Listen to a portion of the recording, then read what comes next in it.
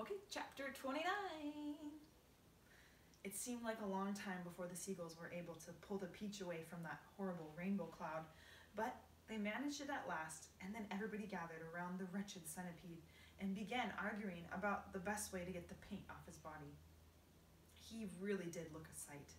He was purple all over, and now that the paint was beginning to dry and harden, he was forced to sit very stiff and upright as though he were encased in cement and all 42 of his legs were sticking out straight in front of him like rods.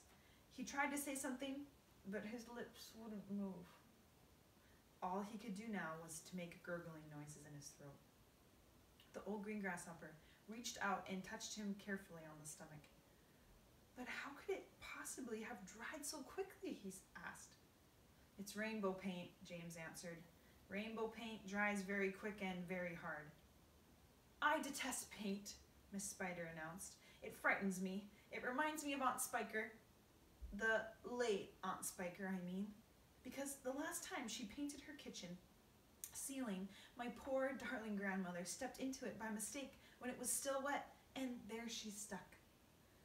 And all through the night we could hear her calling to us saying, Help! Help! Help! And it was so heartbreaking to listen to her. But what could we do? Not a thing until the next day when the paint had dried and then, of course, we all rushed over to her and calmed her down and gave her some food.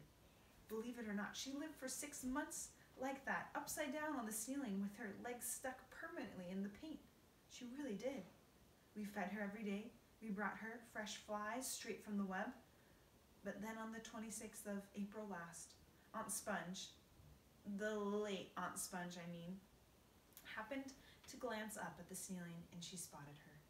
A spider, she cried. A disgusting spider. Quick, fetch me the mop with the long handle.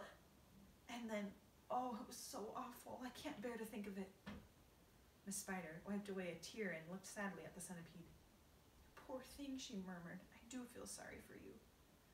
It'll never come off, the earthworm said brightly. Our centipede will never move again. He will turn into a statue, and we shall be able to put him in the middle of the lawn with a bird bath on top of his head. We could try peeling him like a banana, the old green grasshopper suggested. Or rubbing him with sandpaper, the ladybug said. Now, if he stuck out his tongue, the earthworm said, smiling a little for perhaps the first time in his life, if he stuck it out really far, then we could all catch hold of it and start pulling.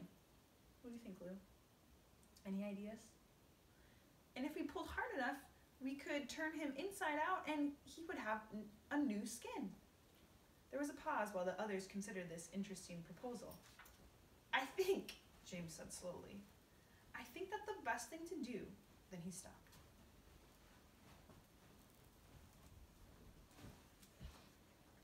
What was that? he asked quickly. I heard a voice. I heard someone shouting. end of chapter 29. What do you think it is, Lou? Any guesses? Any predictions? Two licks means she's not sure. I guess we'll find out next time.